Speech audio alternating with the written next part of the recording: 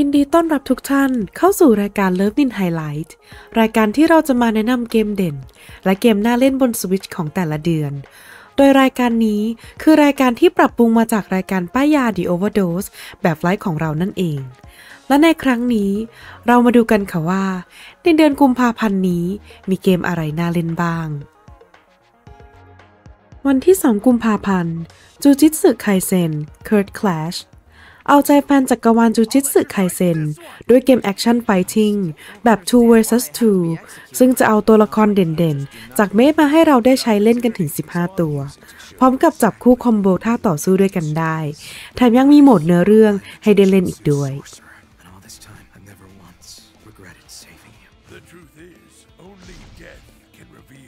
วันที่ 14 กุมภาพันธ์ Tomb Raider 123 Remastered หวนขึ้นกลับสู่วงการอีกครั้ง กับ 3 ภาคแรกของซีรีส์ Action Adventure ของ Lara Croft ที่จะปรับปรุงกราฟิกใหม่ แต่สามารถเลือกสลับกลับไปเป็นแบบดั้งเดิมได้ รวมถึงการควบคุมที่ปรับเปลี่ยนไปตามยุคสมัย ที่จะเล่นสะดวกขึ้น รวมถึงเนื้อหาคอนเทนต์ที่มากันแบบครบๆ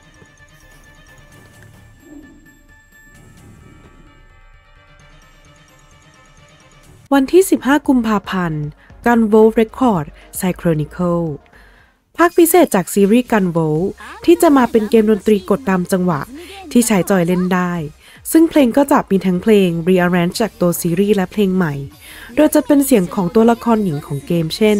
ลูเมน โลล่า หรือลูเซีย โดยเบื้องต้นจะมีด้วยกันทั้งหมด 15 เพลง จะมีโหมดให้เราฟังเพลงอย่างเดียว โดยไม่ต้องเล่นก็ได้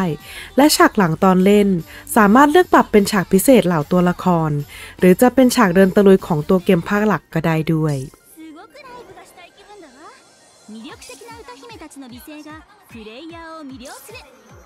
วันที่ 15 กุมภาพันธ์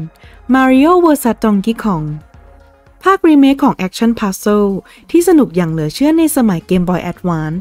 ซึ่งการกลับมาในครั้งนี้ก็จะเป็น full remake ที่เพิ่มเติมเนื้อหาโหมดพิเศษ และรายละเอียดอื่นๆ นอกเหนือจากกราฟิกเข้าไปเยอะมาก เช่นโหมด co-op แบบแบ่งจอยเล่นด้วยกันได้ หรือโหมด casual ที่ตัวละครจะไม่ตาย แค่กลับไปอยู่ในฟอง เหมาะสำหรับเล่นกับคนในครอบครัว ที่เล่นเกมไม่เก่ง ให้มาสนุกกับเกมนี้ไปกับเราได้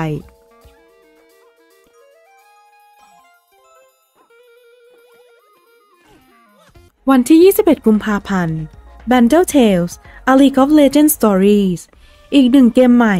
ที่จะมาขยายจักรวาล League of Legends โดยในครั้งนี้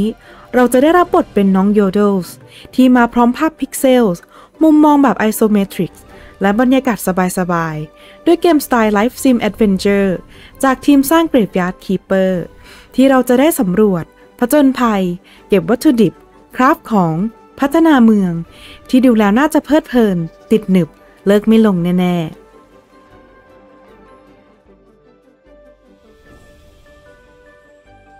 วันที่ 21 กุมภาพันธ์ Slave Zero X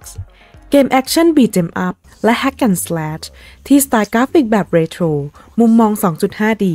ผสมผสานระหว่างกราฟิกแบบพิกเซลและ Low Poly แต่มี gameplay ที่ดุดัน ดุเดือด เลือดพล่าน มีความโหดสูง รวมถึง combo action สะใจ สมกับแนวเกมกันไปเลย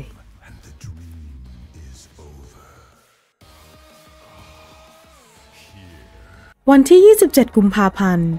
Shiren the Wanderer The Mystery Dungeon of Serpentcoil Island กลับมาอีกครั้งกับเกมตะลุย dungeon ต้นฉบับดั้งเดิม หลังหายไปจากวงการถึง 8 ปี พร้อมกับระบบที่ยกระดับไปอีกขั้นทั้งการร้องขอความช่วยเหลือจากหน่วย การเรียนรู้ข้อมูลไอเทมและมอนสเตอร์ และสามารถอัปโหลดข้อมูลไปยังระบบได้ พร้อมด้วยอีเวนต์ที่จะมาเซอร์ไพรส์ผู้เล่นอีกมากมาย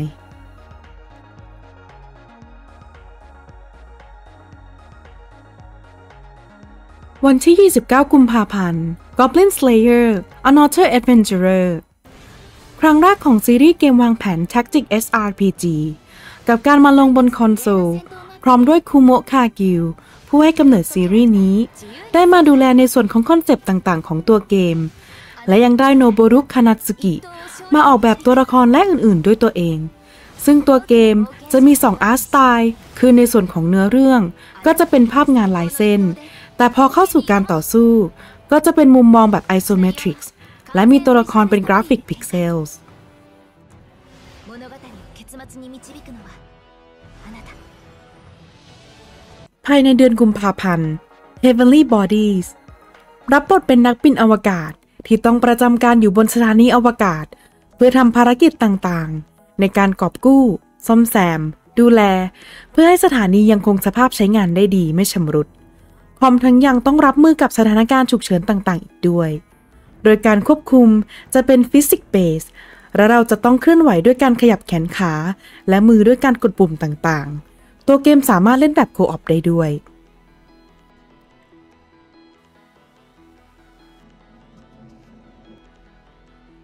จริงๆ แล้วในระหว่างที่จัดทำคลิป มีการเปลี่ยนแปลงของเกมนิดหน่อย อย่างเช่นเกม Open Roads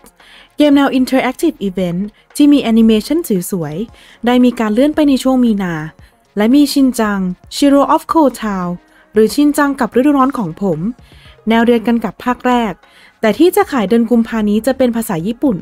ตัวเกมมีกำหนดออกเวอร์ชัน Eng แล้ว แต่ยังไม่มีการกำหนดวัน ต้องรอติดตามกันอีกครั้งนะคะ สรุปโดยรวมแล้ว ในเดือนนี้ก็ยังไม่ร้อนแรงเท่าเดือนมกราคม แต่ก็มีเกมน่าสนใจออกมาให้เล่นกันอยู่บ้าง